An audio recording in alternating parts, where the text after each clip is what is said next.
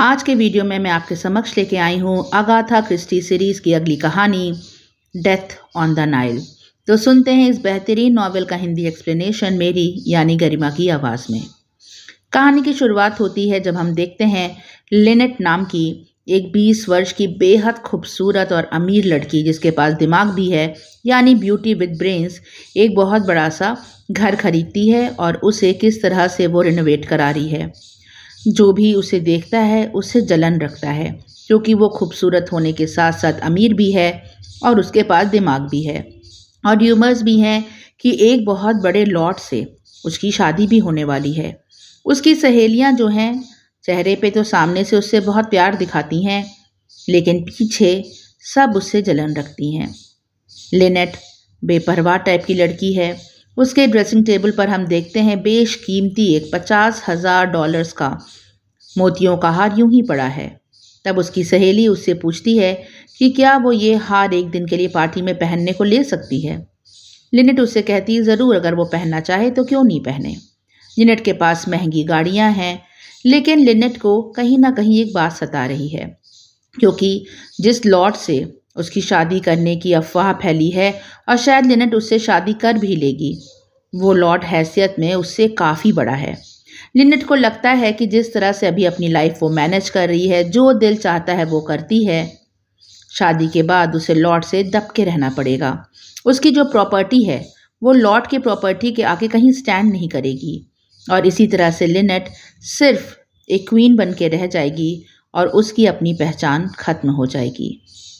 वहीं हम देखते हैं लिनेट की एक बहुत जिगरी दोस्त है, जिसका नाम जैकलिन है, जिसे वो प्यार से जैकी पुकारती है। जैकी जो है, वो थोड़ी गरीब तबके से बिलोंग करती है, लेकिन लिनेट की बहुत अच्छी सहेली है। उसकी सगाई हो चुकी है और वो एक लड़के से बहुत प्यार करती है। लड़के का नाम है साइमन डॉयल, लेकिन एक छोटी सी प्रॉब्लम है। साइमन की नौकरी छूट गई है और इस समय वो बेरोज़गार है। जैकलिन कहती है लिनेट से कि क्या वो स्टेट एजेंट के रूप में साइमन को नियुक्त कर सकती है? लिनेट कहती है, ठीक है, वो इस बारे में सोचेगी। वहीं पर एक होटल में बहुत बेहतरीन डांस करती है जैकलिन अपने मंगेतर साइमन के साथ। वो बहुत खुश है, क्योंकि शायद लिनेट उसे नौकरी दे देगी, तब फिर इनकी शादी में कोई व्यवधान नहीं है।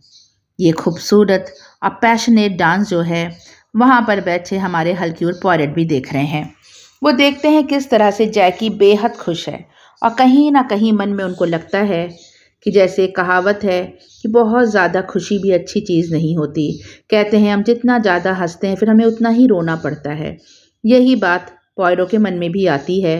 वो कहते हैं, ये लड़की इतना खुश है, इतनी खुश है कि मुझे इसे देख के डर लग रहा है कि कहीं इसकी खुशी ना छिन जाए। हालाँकि वो उस शख्स को नहीं देख पाते, सामान डॉल का चेहरा नहीं देख पाते जिसके साथ जैकी डांस कर रही थी। पॉयरो का प्लान बन रहा है इजिप्ट जाने का, क्योंकि ठंड से बचने के लिए वो लोग इजिप्ट जाना चाह रहे हैं, जहाँ की धूप और रेत उन्हें बहुत सुहाएगी। वो बात कर रहे हैं अपने दोस्त से कि इस छुट्टियों में उनका मन है कि नील नदी के ऊपर, नाइल रिवर के ऊपर वो लोग एक शिप से इजिप्ट जाएँ। अब ये इजिप्ट जाने का प्रोग्राम सिर्फ़ पॉयरो का ही नहीं है, कई लोग इजिप्ट जाना चाह रहे हैं। और हम कहानी में आगे जानेंगे कि उनमें से कई लोग लिनेट, यानी हमारी जो हीरोइन है, उससे लिंक्ड है। इधर जैकलिन के जीवन में बहुत उथल पुथल हो जाती है, क्योंकि हम देखते हैं कुछ महीनों के बाद लिनेट और जैकलिन का जो मंगेतर था, साइमन डॉयल, दोनों ने शादी कर ली है और उनकी शादी की चर्चा हर अखबार में है। लॉर्ड जब ये बात सुन रहा है तो वो बहुत नाराज़ है, क्योंकि वह लिनेट से शादी करना चाहता था। लेनेट जो कि एक अक्लमंद लड़की है, उसने अपने लिए अपने हिसाब से सही चुनाव चुना। हालाँकि उसने अपने दोस्त जैकी के बारे में एक बार भी नहीं सोचा कि उसका क्या होगा। लिनेट अपने पति साइमन डॉल के साथ हनीमून पर जाती है इजिप्ट। उसी शिप पर सवार होकर, जिस पे हमारे हक्यूल पॉयरो जाने वाले हैं। और भी लोग जो जा रहे हैं उस शिप पे, वो लोग भी बहुत इंटरेस्टिंग लोग हैं। एक गरीब सा लड़का है टिम एलर्टन। ना जाने क्यों वो इस शिप पे ज़रूर जाना चाहता है। उसकी माँ पूछती है कि आखिर हम लोग इतने पैसे कहाँ से लाएँगे उस ट्रिप के? तो टिम कहता है कि मेरे पास कुछ शेयर्स हैं और शेयर मार्केट बहुत उछली है, समय बहुत हाई गई है तो मैं अच्छे से पैसे अरेंज कर सकता हूँ, लेकिन हम कहानी में आगे जानेंगे कि टिम एलर्टन आखिर उस शिप पर क्यों गया था। मिस ऑटनबर्न करके एक लेडी हैं, जो नॉवेल्स लिखती हैं लेकिन उनकी नावल बहुत अच्छी सेल आउट नहीं होती हैं। उन्हें लगता है कि इस शिप पे उन्हें तरह तरह के अमीर लोग मिलेंगे और उन्हें इंस्पिरेशन मिलेगी अपनी नावल लिखने के लिए। इसीलिए अपनी बेटी रोजलिन के साथ वो उस शिप पे जाती हैं। लेकिन जो इनकी बेटी है रोजलिन ये बहुत उदास रहती है और बहुत परेशान रहती है। अब उसकी परेशानी का कारण क्या है, उदासी का कारण क्या है, ये भी हमें कहानी में आगे मालूम पड़ेगा। शिप पर और भी बहुत से लोग गए हैं। जिनके बारे में हम कहानी के बीच बीच में डिस्कस करते रहेंगे। अब लेनेट, जो इतनी अमीर थी तो वो अकेले तो गई नहीं थी शिप पे अपने पति के साथ। साथ में उसकी जो मेट थी, उसका नाम लूजी था, वो भी गई थी। और साथ ही उसके फाइनेंस की जो देखभाल करता था पेनिंगटन वो भी साथ गया था। लिनेट ने अभी अभी शादी की है और वो बहुत खुशी खुशी अपने हनीमून पे जा रही है। लेकिन उसी खुशी के दिन बहुत लंबे नहीं थे, क्योंकि जिस शिप से वो जा रही है वहाँ पर जैकलिन, यानी कि जैकी भी सफ़र कर रही है। लिनेट उसे देख के हड़बड़ा जाती है। उसके मन में गिल्ट है कि उसने जैकी के साथ बुरा किया है। जैकी भी लिनेट को और अपने पूर्व मंगेतर साइमन डॉयल को घूर रही है और अक्सर चीख चीख के बोल रही है कि मैं तुम दोनों को ज़िंदा नहीं छोड़ूँगी। उसके पास एक गन भी है, जिसे वे छुपा के लेनेट को दिखाती है। लेनेट उसके इस बर्ताव से बहुत घबरा जाती है क्योंकि जैकी के सर पे खून सवार है, मौका पाते ही वह लिनेट को मार सकती है। जब लिनेट जानती है कि पॉयरो भी शिप पर हैं तो वो पॉयरो से मिलती है। साथ में साइमन डॉयल भी मिलता है और दोनों बताते हैं अपनी परेशानी। कहती है लिनेट पॉयरो से कि वो जितनी भी चाहे फ़ीस ले लें, लेकिन किसी तरह जैकी को परसुएट करें कि वो ये सफ़र पे ना जाए और अभी भी शिप तो स्टार्ट नहीं हुई है, वो यहाँ से वापस लौट जाए। पायरो कहते हैं कि वो पैसे नहीं लेंगे, लेकिन हाँ वो परसुएट करने की कोशिश करेंगे जैकी को। पायरो जैकी से मिलते हैं, उसे बहुत समझाते हैं कि अगर वो बदला लेने के बारे में सोचेगी तो उसकी ज़िंदगी भी तबाह बर्बाद हो जाएगी। लेकिन जैकी उनकी एक नहीं सुनती, वह फिर से वो पिस्टल दिखाती है, पायरो को कहती है कि मौका मिलते ही वह को मार देगी। शिप पे जितनी भी लड़कियाँ हैं, कहीं ना कहीं लिनेट से वो सब जलन रखती हैं। सबको लगता है कि लिनेट के पास तो सब कुछ है। खूबसूरती है, पैसा है, प्यार करने वाला पति भी है और वह बेहद अक्लमंद भी है। पेनिंगटन, जो उसका फाइनेंस की देखभाल करता है, वो भी लिनेट का बहुत ज़्यादा कायल है क्योंकि उसको भी लगता है कि लिनेट इतनी स्मार्ट है कि एक भी पेपर वो बिना पढ़े कभी साइन नहीं करती, चाहे कितनी भी लेट हो रही हो। उसके विपरीत साइमन डॉयल जो उसका पति, वो बिल्कुल बेपरवाह है। अगर कभी लिनेट का जो बिज़नेस है साइमन को संभालना पड़ गया तो वो साइमन उसका बिज़नेस मटिया मेट कर देगा। वो बिल्कुल भी अकल नहीं रखता, उसमें बच्चों वाली अकल है, वो सीरियस नहीं है लाइफ के प्रति। आगे के सफ़र में ये सारे एक खंडहर देखने जाते हैं, जिसमें लिनेट भी थी सैमन डॉयल भी था पॉयरो भी वहीं पर उस खंडहर के अंदर था। तभी बहुत ज़ोरों की आवाज़ आती है। अगर साइमन ने सही टाइम पे लिनेट को एक और ना घसीटा होता तो एक बहुत बड़ा सा पत्थर लिनेट के ऊपर गिर जाता और वहीं लिनेट की मौत हो जाती। लिनेट ज़ोर ज़ोर से चीखने लगती है कि इसके पीछे ज़रूर जैकलिन का हाथ है। लेकिन तभी जब पॉयरो अंदर से आता है तो देखता है कि जैकलिन तो अभी अभी स्टीमर से उतर रही है और उसका हाथ कैसे हो सकता है वो तो वहाँ मौजूद ही नहीं थी। लेकिन लिनेट को कोई नहीं समझा सकता। वो किसी भी कीमत पे आगे का सफ़र इस शिप से नहीं तय करेगी और कारनाक नाम के एक दूसरी शिप जो है, उसके ऊपर इन लोग सफ़र तय करेंगे। लेकिन ये बात सबसे छुपाई जाएगी। वो झूठ बोलती है कि जिस जगह इन लोग खंडहर घूमने आए थे, वो जगह इन लोग को बहुत पसंद आ गई है और दस दिनों तक साइमन और लिनट उसी खंडहर वाली जगह पे रहेंगे। वो चाहते थे किसी भी तरह जैकी से अपना पीछा छुड़ाना। ये बात पायरों को हालाँकि पता थी। लेकिन जब इन लोग कारनक पे जाते हैं तो आश्चर्यजनक रूप से वहाँ पर जैकी भी होती है और ज़ोर ज़ोर से हंसने लगती है लिनट को देख के। और कहती है कि अब तुम मेरे से पीछा कैसे छुड़ाओगी? मैं तो हमेशा तुम्हारे साथ रहूँगी। एक रात जब लिनेट सोने चली जाती है अपने रूम में तो जैकी उस रात बहुत परेशान होती है वह काउच एरिया में बैठ जाती है और ड्रिंक करने लगती है। उसके साथ कॉर्नीलिया नाम की एक लड़की भी बैठी थी जो सहयात्री थी उसकी। कॉलिनिया बार बार अपने रूम में जाना चाह रही है, लेकिन जैकी उसका हाथ पकड़ के उसे बार बार बैठा रही है। कह रही, आज मैं बहुत परेशान हूँ, मैं अपने दिल की बात कहना चाहती हूँ और ड्रिंक करती जा रही है लगातार। साइमन डॉयल भी कुछ दूरी पर बैठा है। उसे बार बार जैकी तीखी निगाहों से देख रही है। उसे बहुत गुस्सा आ रहा है, साइमन पे। वो कह रही है कि मेरी दोस्त लिनेट तो बेवफा निकली, उसने तो मुझे धोखा दिया, लेकिन साइमन तुमने क्या किया?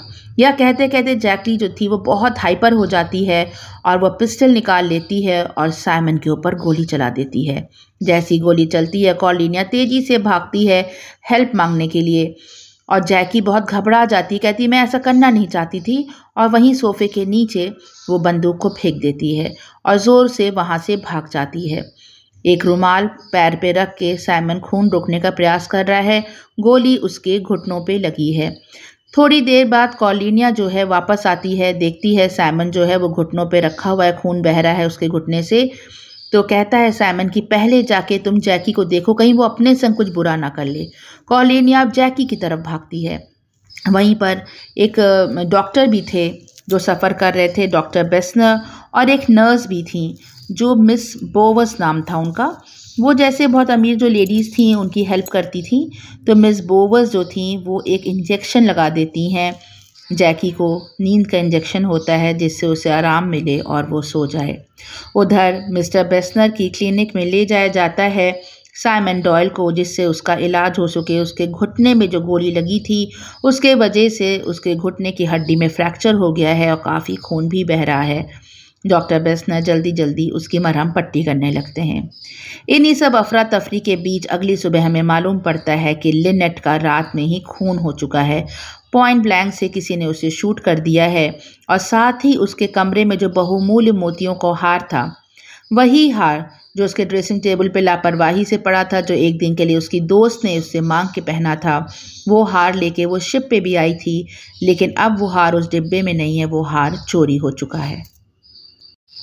मर्डर का सबसे पहला शक जाता है जैकी पे क्योंकि जैकी के पास पिस्टल भी थी। और वो बहुत बार कह चुकी थी कि वह किसी भी कीमत पे लीनट को मार के ही दम लेगी।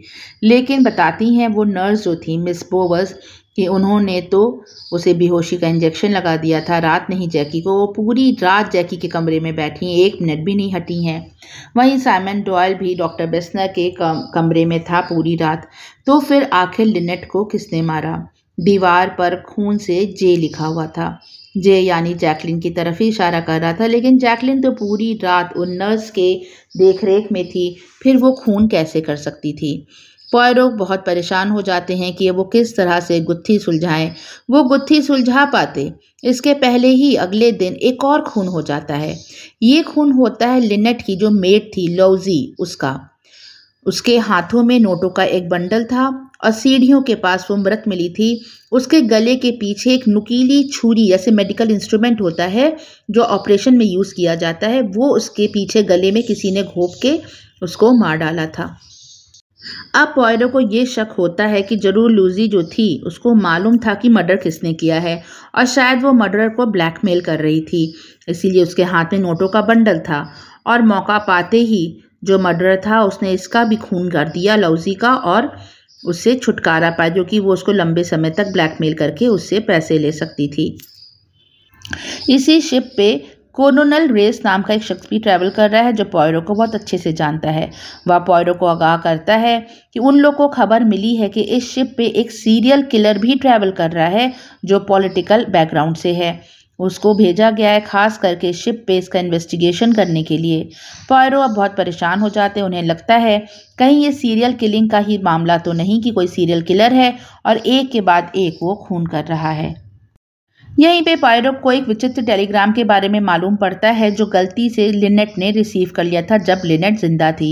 दरअसल वो टेलीग्राम तो सिग्मोर रिचिटी नाम के एक आदमी का था, लेकिन क्योंकि उसका नाम इटालियन में लिखा था इससे लगता है लिनेट को कि वो रिचिटी की जगह रिजवे लिखा हुआ क्योंकि लिनेट का पूरा नाम लिनेट रिजवे था। उसने गलती से वो टेलीग्राम खोल दिया था।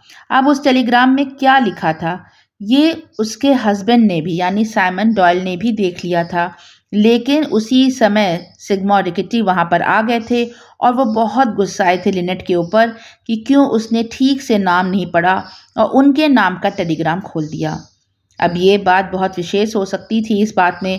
इसीलिए पॉयरो जाते हैं पूछने के लिए। साइमन डॉयल से वो बहुत बुरी कंडीशन में है। उसके पैर की हालत बहुत ख़राब है और उसे तुरंत हॉस्पिटल में एडमिट होना चाहिए। लेकिन क्योंकि लगातार इन लोग शिप से मूव कर रहे हैं, लैंड अभी बहुत दूर है, इसलिए उसका इलाज अभी डॉक्टर बेस्नर ही कर रहे हैं। साइमन डॉयल से पूछते हैं पायरो कि आखिर उस टेलीग्राम में क्या लिखा था जो गलती से लिनेट ने खोल दिया था। साइमन कहता है कि हाँ हाँ उसे थोड़ा बहुत याद है कि उसमें क्या लिखा था, लेकिन जैसे ही वो ये बात बता रहा था, तभी बहुत कस के हंगामा मचता है। और बाहर से तेज़ी से भागती हुई मिसेस ऑटनबर्न आती है। मिसेस ऑटनबर्न वही लेखिका हैं, जो आई हैं शिप पे कि शायद उन्हें कोई टॉपिक मिल जाए, रोजलिन की मोम। अब यहाँ पे हमें एक चीज़ और मालूम पड़ती है कि रोजलिन हमेशा दुखी क्यों रहती थी, हमेशा परेशान क्यों रहती थी, और लिनेट को देख के वो इतना चिड़ क्यों रखती थी। दरअसल लिनेट इसकी रोजेलिन की जो मॉम थी, मिसेस ऑटोबन सिंगल मदर थी। इसके पापा नहीं थे और पैसे कमाने की सारी ज़िम्मेदारी उन्हीं के ऊपर थी। उनकी किताबें इधर अच्छी नहीं बिक रही थी, इसीलिए वो भी बहुत टेंशन में रहती थी और इसीलिए वो शराब पीने की आदि हो गई थी। इतनी ज़्यादा वो शराब पीने लगी थी कि रोजलिन उससे बहुत परेशान हो गई थी, इसीलिए वो इतनी टेंशन में रहती थी और अक्सर वह उनकी शराब की बोतलें उठा उठा के फेंकती रहती थी। अब मिसेस ऑटनबन तेज़ी से भागते हुए आती हैं उस रूम में जहाँ पर साइमन डॉयल लेटा हुआ है और बोलती हैं कि मुझे पता है कि कातिल कौन है। जिसने लूजी का खून किया, उसी ने लिनेट का भी खून किया है। और अब बहुत ही ड्रामेटिक अंदाज में बताती हैं कि अब मैं आप लोग को बताने जा रही हूँ असली कातिल का नाम। इतना ही बोलती तभी तेज़ी से साइमन डॉल कहता है कि हाँ हाँ बताइए, मुझे तुरंत जानना है कि मेरी प्यारी लिंट का खून किसने किया। सब कुछ सॉल्व होने ही वाला था तभी एक धमाके की आवाज़ आती है और कोई बाहर से फायर करता है। सीधे कनपट्टी के नीचे लगता है मिसेज ऑटन बन के और वहीं पे उनकी डेथ हो जाती है। तेज़ी से पायरो भागते हैं हॉलवे में, लेकिन उस रास्ते में कोई भी उन्हें नहीं दिखता। हालाँकि एक बंदूक दूर फेंकी हुई उन्हें ज़रूर मिलती है। जब वो उस गन को उठाते हैं तो उनको याद आता है कि ये गन तो मिस्टर पेनिंगटन की थी। मिस्टर पेनिंगटन यानी कि जो सारा फाइनेंस देखते थे लिनेट का। भागते हैं वो नीचे और उन्हें वहीं पर बैठे हुए मिस्टर पेनिंगटन मिल जाते हैं। वो कहते हैं कि तुमने अभी अभी एक कत्ल किया और इतनी आसानी से तुम यहाँ आके बैठ गए हो। पेनिंगटन कहता है कि नहीं, उसे नहीं पता उसकी बंदूक ऊपर कैसे चलेगी, कैसे मिसेस ऑटनबन का खून हुआ, वो तो नीचे ही बैठा था और कागज़ों को पढ़ रहा था। तब कहते हैं पायरो कि जिस दिन वो खंडहर में घूमने गए थे, जब एक बड़ा सा पत्थर लिनेट के ऊपर गिरा था, तब उन्हें पूरा शक है कि वह पत्थर पेनिंगटन ने ही उनके ऊपर गिराया था। पेनिंगटन घबरा जाता है। वह कहता है कि हाँ उसने ये गलती की थी। उसने लिनेट के ऊपर पत्थर गिरा के उसे मारना चाहा था, लेकिन उसने लिनेट को शूट करके उसकी हत्या नहीं की, ना ही उसने वह बहुमूल्य मोतियों का हार उसके कमरे से चुराया है। पेरिंगटन बताता है मिस्टर पायरो को कि उसे बहुत ज़्यादा फाइनेंशियल क्राइसिस थी और लिनेट जो थी, वो बहुत ज़्यादा होशियार थी, बहुत टाइट थी, अपने पैसे को बहुत संभाल के रखती थी। इसीलिए कभी भी उससे एक रुपया भी बेमानी से पेनिंगटन निकाल नहीं सकता था। उसी के विपरीत साइमन डोयल बहुत ही बेपरवाह टाइप का आदमी था। पेनिंगटन ये सोचता है कि अगर किसी तरह लिनेट मर जाए तो फिर सारा कारोबार जो है साइमन डॉयल के पास आ जाएगा और साइमन तो बिना पढ़े किसी भी पन्ने पे साइन कर देगा। वो लापरवाह है। और तब पेनिंगटन उससे एक दो कागज़ ऐसे साइन करा लेगा जिससे उसकी फाइनेंशियल क्राइसिस दूर हो जाएगी। लेकिन वो फिर मिस्टर पायरो से कहता है कि उसे नहीं पता उसकी बंदूक कैसे चली गई ऊपर और मिसेस ऑटनबर्न मर गई और लिनेट या लूजी के कत्ल में भी उसका कोई हाथ नहीं है। इधर पायरो छानबीन करवाते हैं तो नील नदी के तलहटी में ही उन्हें वह पिस्टल मिल जाती है जिससे लिनेट का खून किया गया था। वह पिस्टल एक सिल्क के स्कार्फ में लपेटी गई थी और फिर एक सस्ते से रुमाल के अंदर लपेटी रखी थी।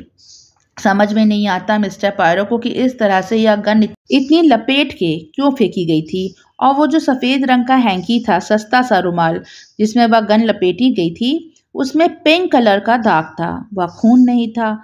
समझ में नहीं आता पैरों को कि आखिर ये पी पिंक कलर के धब्बे किस चीज़ के हैं। खैर, हम लोग की कहानी आगे बढ़ती है और अचानक से अगले दिन है मिस पोवर्स जो कि नर्स हैं, जिन्होंने उस रात जैकलिन का ख्याल रखा था, जो कि मिस वैन की नर्स है। मिस वैन जो बहुत ही अमीर महिला हैं, जो ट्रैवल कर रही हैं उस शिप पर। वो आती हैं और बताती हैं पायरो को कि उन्हें वो पर्ल नेकलेस अपनी मालकिन के पास से मिला है। क्योंकि उनकी जो मालकिन मिस वैन है, ऐसे तो बहुत अमीर हैं, लेकिन क्लेप्टोमैनियक हैं, यानी कि उन्हें चोरी करने की आदत है। और कई बार मिस बोवर्स ने उनके पास से चोरी का सामान लेके उनके मालिकों को लौटाया है। लेकिन जब मिस वैन से पूछा जाता है तो वो कहती हैं कि उन्होंने ये मोती का हार नहीं चुराया। जैसे ही वो मोती का हार लेते हैं पायरो अपने हाथ में वो कहते हैं कि ये डुप्लीकेट हार है। किसी ने बहुत ही चलाकी से पहले ही असली हार बदल दिया है और चोर अभी असली पकड़ा नहीं गया। साथ ही लिनेट के कमरे से उन्हें बहुत अजीब अजीब सी कुछ चीज़ें मिलती हैं जिसमें एक नेल पॉलिश की शीशी थी, जिसके ऊपर रोज़ लिखा था। रोज़ यानी कि वो पिंक कलर की नेल पॉलिश रही होगी, लेकिन वो नेल पॉलिश बिल्कुल खाली थी और सिर्फ़ एक या दो बूंद नेल पॉलिश के ही उसके अंदर थे। अभी तक ये बात समझ में नहीं आ रही थी किसी को कि असली कातिल कौन है और एक के बाद एक तीन कत्ल उस शिप पर हो चुके थे। तब मिस्टर कॉलोनल रेस हैं। वो पूछते हैं पायरो से कि तुम्हें क्या लगता है? तुमने अभी तक कुछ तो कुछ धारणा बनाई होगी कि किसने खून किया था। और तभी इन लोग को मालूम पड़ता है कि उस टेलीग्राम में आखिर क्या लिखा था। वो टेलीग्राम जो उस दिन गलती से लिनेट ने खोल दिया था। बाद में मालूम पड़ता है सैमन डॉयल से कि उसमें क्या लिखा था। सैमन बताता है पॉयरो को कि उसमें कुछ खास नहीं, खाली कुछ सब्जियों के नाम लिखे थे, जैसे पोटैटो बीट रूट यही सब। तो ये बात जब बताता है पायरो, कॉलोनल रेस को तो वो बहुत चौक जाते हैं। वो कहते हैं कि इसका मतलब वो सीरियल किनर, किलर जो है शिप पे, वो और कोई नहीं है। वह मिस्टर रिचटी ही हैं। मिस्टर सिग्मो रिचटी तो वो कहते हैं, ऐसा आप कैसे कह सकते हैं? उसमें सब्जियों के नाम थे। कहते हैं, नहीं नहीं, ये एक कोड भाषा है। पोटैटो मतलब कि बॉम्ब्स होते हैं बीट रूट मतलब कि हैंड ग्रेनेड होता है, और इसी तरह से कोड भाषा में जो सब्ज़ियाँ लिखी थी, इसका मतलब कि बहुत सारा असलहा जो है, वो छुपा के इस शिप पर वो ले जा रहे हैं। तो होता है कि क्या फिर सिग्मा रिचिटी जो है, वही सीरियल किलर हैं। पॉयरो कहते हैं कि उन्हें तो पहले पूरा शक डॉक्टर बेस्नर पे था।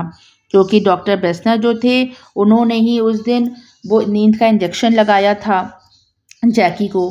और फिर लौजी के गले पर जो घोप के मारा गया था, जो औज़ार था, वो उन्हीं का से मेडिकल लोग यूज़ करते हैं डॉक्टर्स यूज़ करते हैं, वही इक्विपमेंट था। और फिर उस दिन जब अचानक से वो मिसेस ऑटोबन चिल्लाती कि मुझे पता है, मुझे पता है कातिल कौन है, उस समय डॉक्टर बेस्नर वहाँ पे नहीं थे।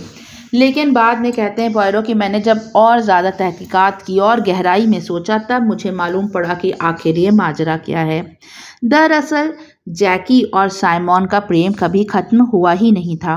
वो लोग आज भी प्रेमी थे। साइमन को जब लिनेट ने अपने यहाँ नौकरी पे रख लिया, तब वो उसकी तरफ़ उसका झुकाव बढ़ने लगा और साइमन ने ये बात बताई जैकी को कि लिनेट मुझे कहीं ना कहीं पसंद कर रही है। पहले तो जैकी बहुत चिढ़ गई, लेकिन फिर साइमन ने एक प्लान बनाया। उसने कहा कि वो दोनों शादी कर लेंगे, उसके बाद वो लोग हनीमून के लिए शिप पे जाएँगे और प्लान के तहत लिनेट को रास्ते में मार दिया जाएगा। सारी दौलत आ जाएगी सैमन डॉयल के पास और उसके बाद वो अमीर हो जाएगा और जैकी से शादी कर लेगा। फिर इन लोग की ज़िंदगी बहुत आसान हो जाएगी। लेकिन जैकी जानती थी कि इतना आसान नहीं है ये सब काम करना। इसीलिए प्लान में उसने साइमन का पूरा पूरा साथ दिया और इस शिप पर वो भी आ गई। उस रात ये सब प्लान के तहत था जो शराब पीकर उसने कॉलिनिया को पास में बैठाया था। जैकी ने और रो रो के बातें कर रही थी।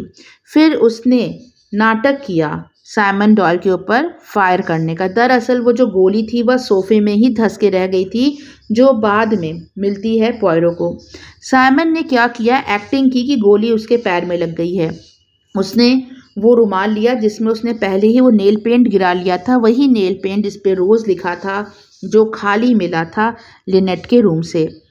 और उसने अपने घुटने पे रखा, सबको लगा कि इसके घुटने से खून निकल रहा है और इसने कहा कॉलिनिया से कि तुम भाग के पहले जैकी के पास जाओ। वो बहुत परेशान है। वो जैकी के पास भागती है कॉलिनिया और ये भाग कर जाता है लिनेट के रूम में और उसका कत्ल कर देता है। ये सब बातें डॉक्टर बेस्नर भी सुन रहे थे। उन्होंने कहा कि हाँ जैकी को तो उन्होंने नींद का इंजेक्शन दिया था, इसीलिए खून तो वो नहीं कर सकती थी तो ये तो उन्हें पहले ही पता था। लेकिन उनका दिमाग इस तरफ़ नहीं गया था कि इस तरह से साइमन डॉयल ने प्लान किया होगा। लेकिन साइमन को गोली सही में लगी हुई थी, डॉक्टर बेस्नर कहते हैं, और उसकी हड्डी जो थी वो फ्रैक्चर भी थी। बताते हैं पायरों की इसीलिए उसने उस रुमाल के बाद वो सिल्क वाले हैंकी से उस बंदूक को लपेटा कि बाहर कहीं आवाज़ ना जाए और खून के जो छींटे हैं वो कहीं ना गिरे। और ये अपने आप को खुद शूट कर लेता है घुटने पर और फिर आके लंगड़ाते हुए वहीं सोफे पे गिर जाता है। जब तक कॉलिनिया लौटती है मीन्स उसको छोड़ के जैकी को, डॉक्टर बेस्नर के पास, तब तक यहाँ सचमुच में सैमन अपने पैर में गोली मार चुका था और बंदूक लपेट के उसने नील नदी में फेंक दी थी। इसीलिए सोफे के नीचे से बंदूक कभी बरामद हुई नहीं थी। तो डॉक्टर बेस्ना कहते हैं कि जब उसके पैर में फ्रैक्चर है, उसको इतना दर्द है, तब फिर वो लूजी का खून कैसे कर सकता है? तब कहते हैं पैरो कि आपको अच्छे से याद होगा कि अगले दिन साइमन डॉयल जो था, वो जैकलिन से मिलना चाहता था अकेले में। डॉक्टर बेस्ना कहते हैं हाँ साइमन ने ये बात कही थी उससे। तो बताते हैं कि जब साइमन जैकलिन से अकेले में मिलता है तो वो बताता है कि लूजी ने उसे उस दिन लिनेट के रूम से निकलते हुए देख लिया था, जब वो कत्ल करके निकल रहा था। और अब वो उसे ब्लैकमेल कर रही है।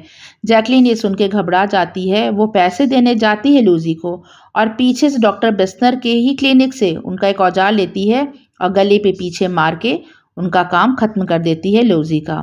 फिर मिसेस ऑटन बन जब बताने जा रही थी कि मुझे पता है कातिल कौन है, तब अचानक से साइमन डॉल तेज तेज चलाने लगता है। कि बताओ कातिल कौन है, बताओ कातिल कौन है जो सतर्क कर रहा था जैकलिन को।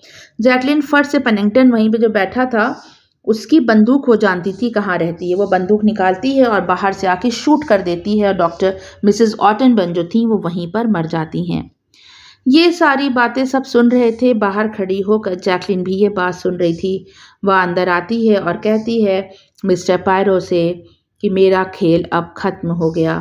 मैंने साथ देना चाहा था साइमन का और हम दोनों को अच्छी ज़िंदगी जीना चाहते थे, लेकिन हम लोगों ने गलत रास्ता चुना। बोलते हैं, पायरो, की क्या तुम इस हद तक नफ़रत करती थी अपनी फ्रेंड से? तो वो कहती है कि नहीं, मैं नफ़रत नहीं करती थी, लेकिन साइमन के प्रेम में मैंने ये सब कर दिया। इधर उस हार का राज भी खुलता है। वो हार, जो नकली हार था और असली हार दरअसल कहाँ चला गया था? पोयरो को ये मालूम पड़ता है कि मिस एलर्टन नाम की एक लेडी है जो ये काम करती है, वह किसी से भी अगर हार बोरो करती है और फिर उसकी हु बहू कॉपी बना के असली हार उस वापस कर देती है और थोड़े दिन बाद वो हार चोरी हो जाता है मीन्स उस हार को वो एक्सचेंज कर देती है। तो जब स्टार्टिंग में कहानी के हम लोग ने देखा था कि लिनेट के पास उसकी एक सहेली आई थी और उसका बेशकीमती हार एक दिन के लिए मांग के ले गई थी दरअसल वह मिस अलर्टन ही थी। लेकिन वो इस शिप पर तो आई नहीं थी। फिर उसने ये हार की अदला बदली कैसे की? दरअसल टिम अलर्टन उसका मीन्स कज़न है। और टिम इसीलिए इस शिप पे, हालाँकि वो इतना गरीब था, लेकिन वो इसी काम करने के लिए शिप पे आया था, जब उसे मालूम पड़ा था कि लिनेट रिजवे भी इस शिप पर ट्रैवल कर रही है। नकली हार, उसकी कज़न ने उसे पहले ही कोरियर कर दिया था। वह नकली हार लेके शिप पे आया था। और फिर जब इसका कत्ल हुआ था लिनेट का जिस रात, उसके पहले वो सो चुकी थी जब रूम में अकेली थी, तब उसने ये हार बदल दिया था। उसने वह जो असली हार था, वो अपने पास रख लिया और नकली हार उठाकर मिस वैन के पास रख दिया था छुपा के, जो मिस बोवर, यानी उनकी नर्स को बाद में मिलता है और वो मिस, मिस्टर पायरो को वो हार लौटाती हैं। तो मिस्टर पायरो कहते हैं कि तुमने असली हार वो कहाँ छुपा के रखा है, टेमा लर्टन से पूछते हैं। तब टेमल लर्टन कहता है कि जो झूमर लगी हुई है ऐसे कमरे में, उसके ऊपर एक गुलदस्ता है जिसमें गुलाब लगे हैं। उसी के अंदर उसने वह असली हार छुपा के रखा है। वह असली हार भी बरामद हो जाता है और शिप पहुँच जाती है आखिर अपने डेस्टिनेशन पे। वहाँ पर पुलिस आती है। सैमन डॉयल और साथ में जैकलिन को गिरफ़्तार कर लिया जाता है। शिप से तीन लाशें भी उतरती हैं। जब ये लोग जा रहे थे, गिरफ्तारी हो चुकी थी, तभी अचानक से जैकलिन अपने मोज़ों के अंदर छिपी हुई छोटी सी पिस्टल निकालती है और सैमन डॉल को शूट कर देती है। जब तक पुलिस उसके पास आती, तब तक जैकी अपने आप को भी शूट कर लेती है।